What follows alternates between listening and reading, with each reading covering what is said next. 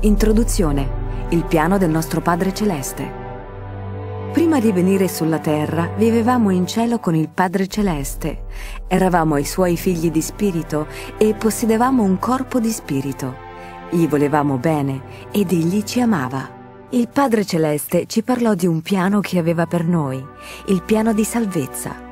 Se scegliamo di seguire il suo piano, possiamo diventare come il Padre Celeste.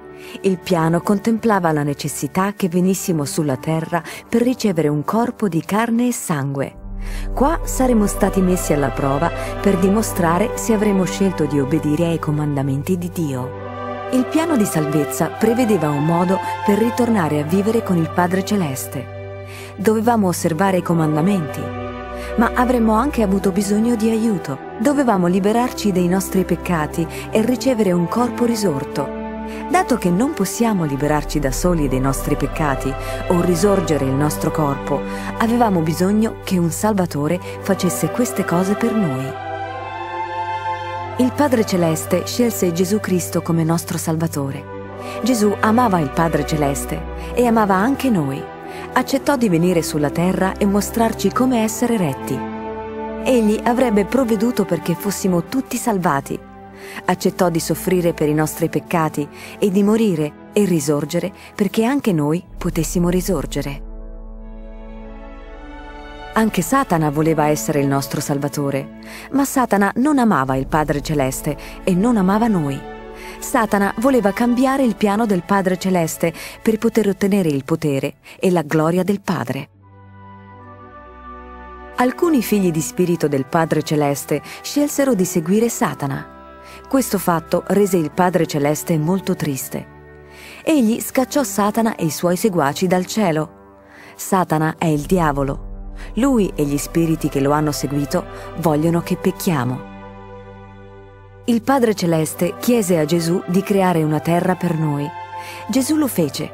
Egli creò il sole, la luna e le stelle. Mise sulla terra le piante e gli animali. Ora avevamo una terra dove venire e dove avremmo ricevuto un corpo di carne e sangue. Molte persone vennero a vivere sulla terra, alcune scelsero di obbedire ai comandamenti di Dio, altre no.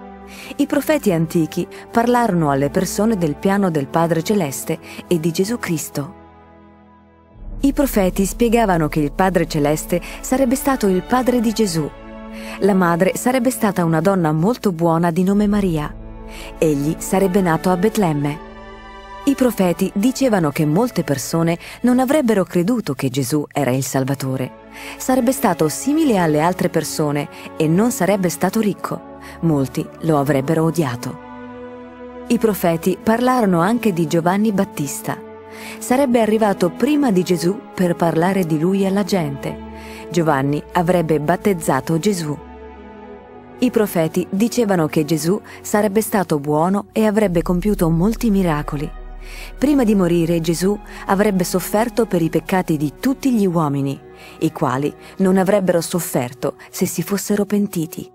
Molti profeti sapevano che Gesù Cristo, il nostro Salvatore, sarebbe stato crocifisso, sarebbe stato appeso con i chiodi a una croce di legno e avrebbe dato la sua vita per noi. Dopo tre giorni sarebbe risorto. Il suo spirito sarebbe ritornato nel corpo. Grazie alla morte e risurrezione di Gesù, anche noi saremmo risorti. Il Nuovo Testamento dimostra che le parole dei profeti sono vere. È la storia di Gesù Cristo e dei suoi apostoli. Essi vivevano in Terra Santa. Molti abitanti della Terra Santa erano chiamati ebrei i Romani avevano conquistato la Terra Santa e governavano gli ebrei.